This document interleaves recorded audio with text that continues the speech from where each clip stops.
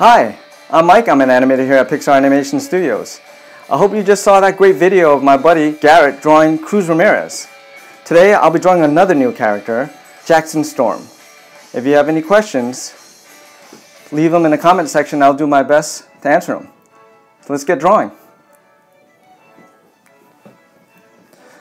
So drawing cars is inherently a little more challenging, I feel, because um, they're, you know, they're vehicles and normally inanimate. But here at Pixar, we love to imbue uh, some of these objects, your everyday objects, with personality.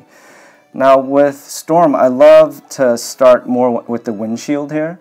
Uh, windshields, the windshields kind of set these characters apart a little bit, and um, they're the eyes, and you know, as they say, the eyes are the window to the soul, and I like to use um, this as a starting point so that I can kind of nail down the personality and the attitude.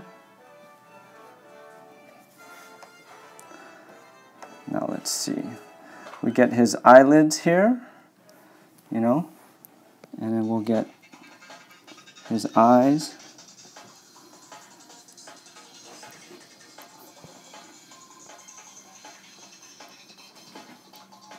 Now, Storm is one of our new characters in Cars 3, and he's the hot young rookie that's coming onto the scene.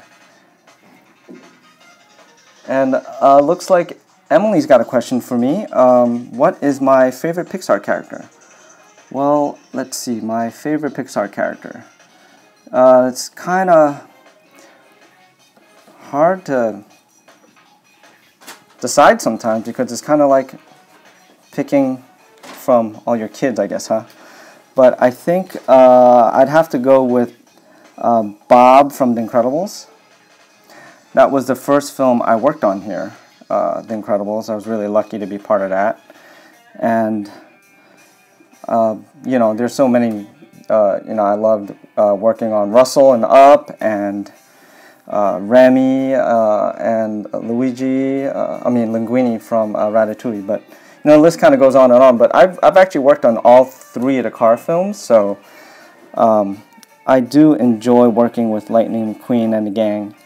So here I am drawing the front part or the hood of Storm. Now Storm, he is, you know, he's a kind of a muscular character uh, if I could say that about a car.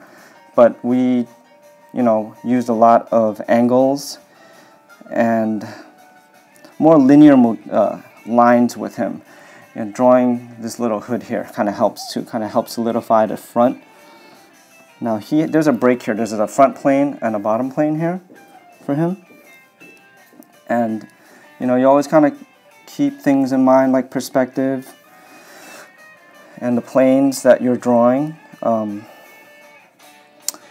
here's drawing in some of the headlights here. And looks like there's another question here. Are you using a Wacom tablet? Yes, I am. I am using a Cintiq. Uh, I don't know how many inches, 22 inches maybe? Uh, but yes, here at Pixar we work both traditionally on paper and pencil and uh, you know, a lot of us are digital artists, you know, uh, really all of it, they're all tools um, to us. So the most important thing is uh, learn how to draw well and put a lot of time drawing no matter what you're, you're either using a computer or pencil, paper and pencil because it, it's really just a tool. So now that I've got the front end, now the interesting thing with uh, Jackson Storm is um, we tried to find a different motif for his expression, or at least a design language. And you'll notice when hopefully you go watch the movie on June 16th, Cars 3 comes out, that we uh, use a more triangle shape for him. You know, try to echo in a lot of the design that we put into uh, the character itself. Trying to bring this down a little bit. He's got a pretty large front here. And now that the front is looking pretty good, So if you're just joining us, my name is Mike. I'm an animator here at Pixar Animation Studios, and right now I am drawing Jackson Storm, and he's a brand new character in Cars 3. I'll draw the wheel well here, which is important. Now I'm going to start building back. Now the thing that is challenging with cars is to try to maintain the integrity and the sculptural aspect and perspective and volume and all those great things. So he is he's got this great design in the back. He can really wide and flared. And then here will be his other wheel well. I'm trying to think. I'm trying to keep all these things in mind here, all the the perspective here. And then I will just kind of clean this up a little bit. Clean some of this up here. Now he's, you can notice he's kind of half lidded because he is a very confident, very sure of himself character. Uh, another question came in. How did you get a job at Pixar? Very good question. Um, so I have been studying animation since I was a kid. I went to uh, California Institute of Arts and I studied animation and drawing and film there and I um, was lucky enough to get my first job at uh, Walt Disney Feature Animation uh, down in Los Angeles doing hand-drawn films. Um, so that's where I got a lot of my um, yeah, skills and experience uh, drawing and animating.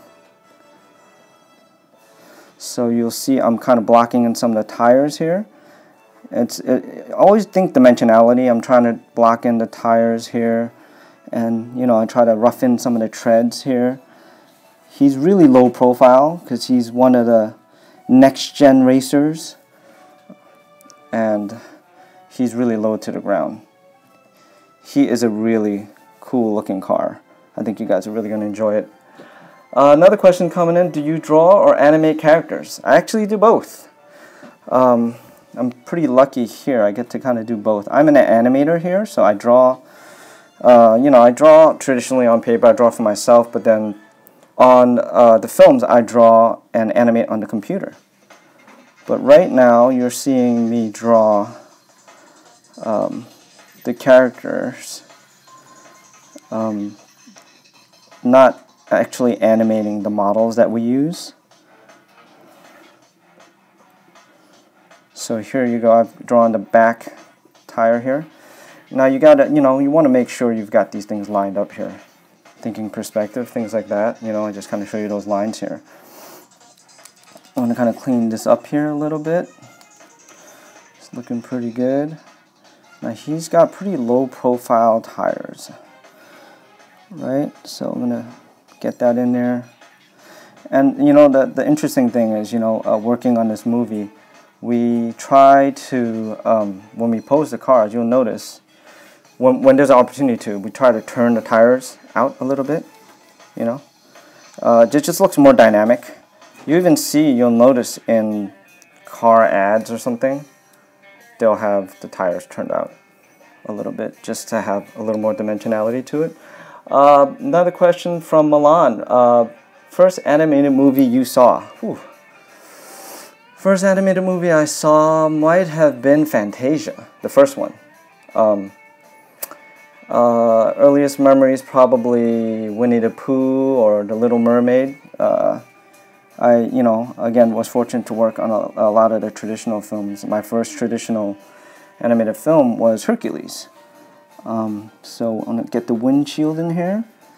It's starting to come together. Now, one thing with perspective is you want to get a flow but you see there's overlapping lines and shapes. That's how you're going to maintain solidity and volume. Right? If you like this video, remember to subscribe and ring the bell. That way you'll never miss another Pixar Live video right here on YouTube. Okay, I'm going to start drawing in just, you know, this is a sketch, so it's good to have some detail in here. Not, not, not too much, you want it to be too distracting just again to add the, to dimensionality to the tires.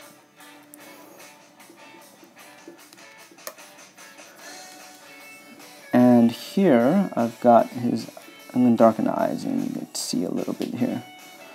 You know, now the personality is really coming through. We have this stair step on him, on his eyelids, and it's kind of our way of differentiating the left and right eye so that we have uh, range in our acting when we're animating these characters. And lastly, well, maybe not lastly, I gotta maybe give a little bit of detail here in the back. And let's not forget, he's got this really cool spoiler, so I'm gonna draw that in for you guys. There you go.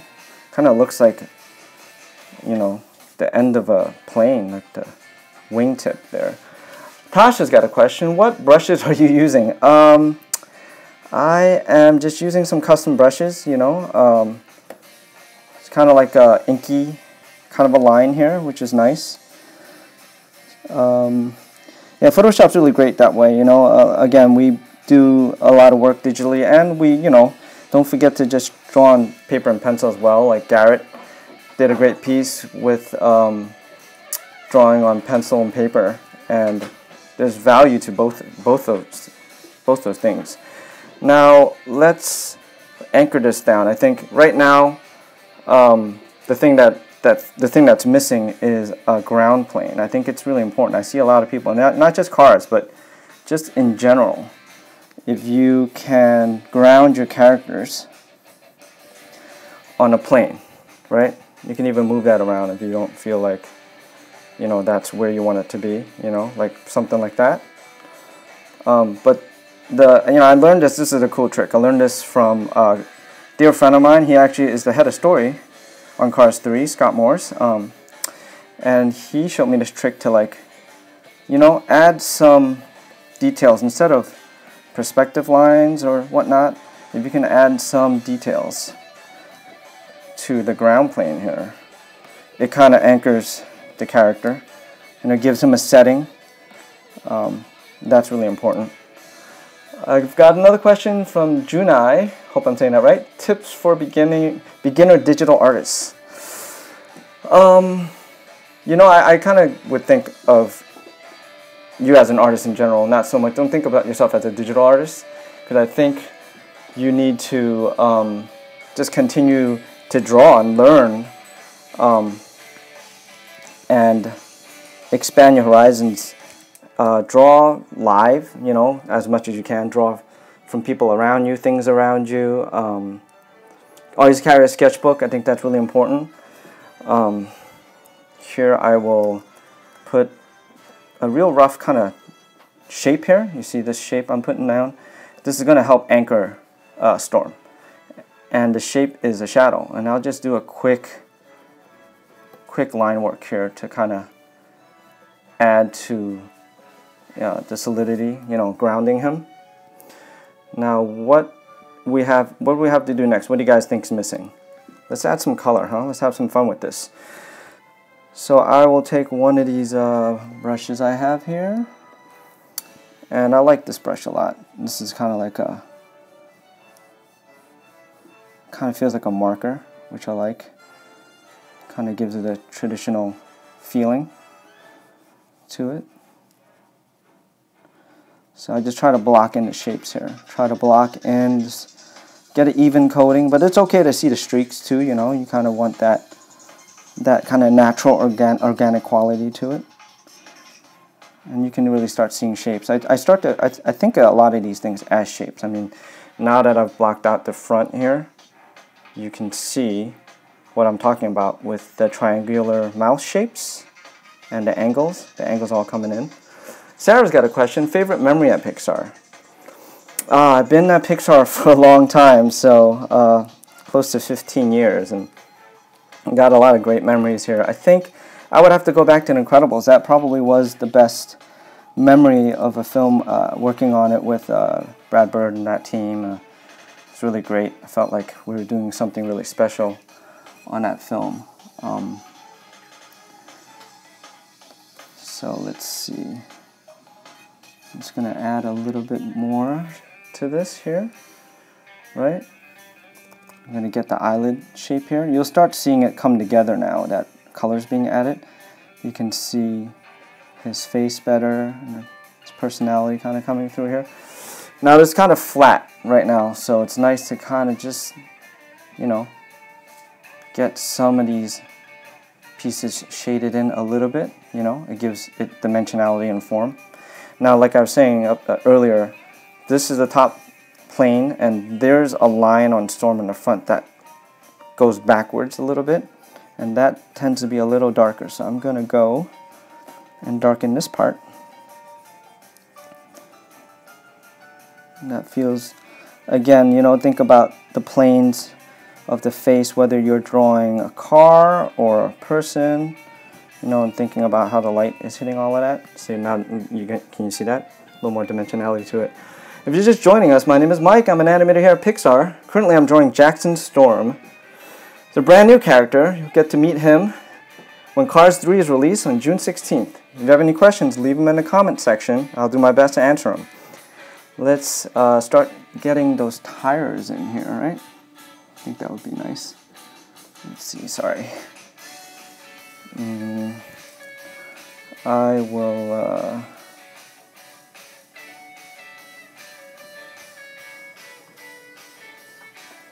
let's use this here. Tires, you know, again, just to keep this thing simple. There you go get this shape in here. Get this. Tires.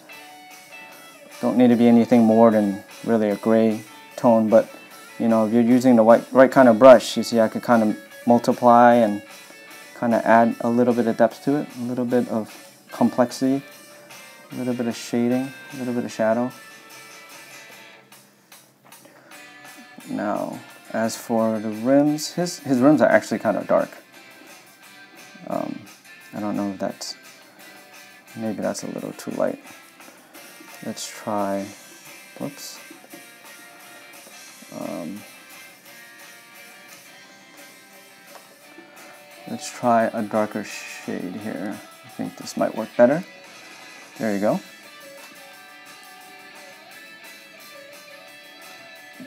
and I'm kind of drawing and just getting some of these shapes down, you know.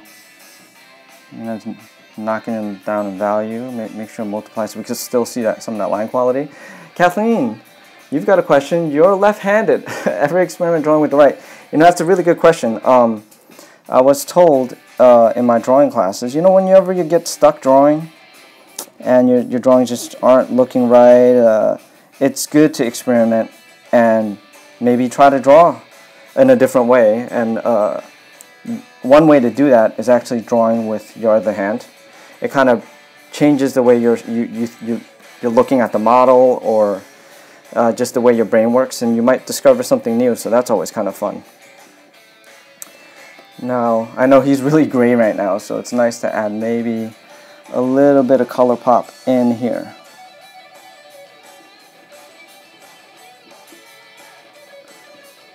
Alright. And we'll multiply that.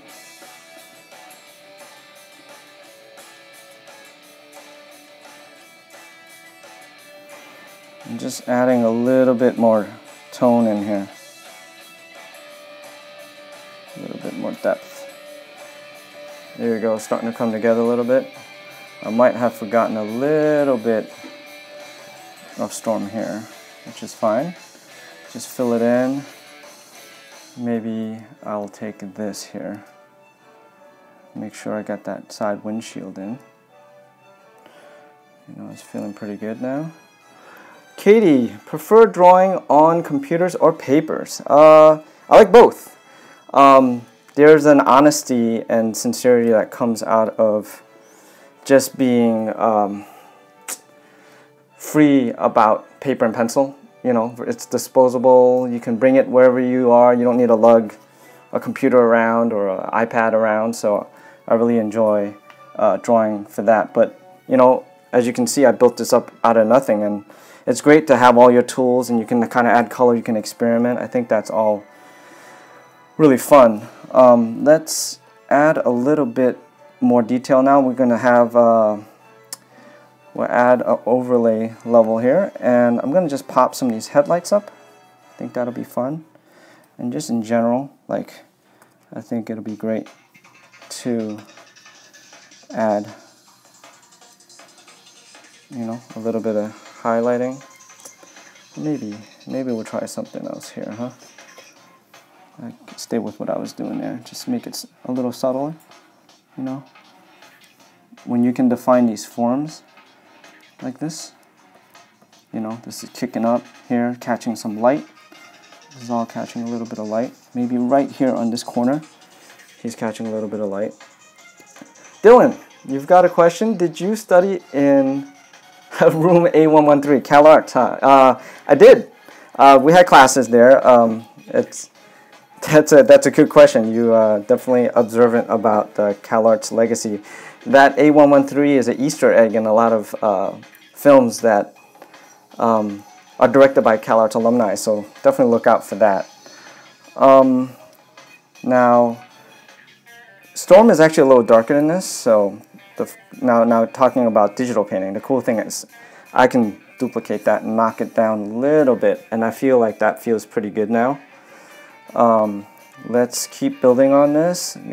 Now, uh, he's he may be really dark, almost black in the movie, but I think this could be a really fun thing to do here as well where we can add he has like a blue striping and highlights on him. And it looks really cool so I'll add a little bit of that to it.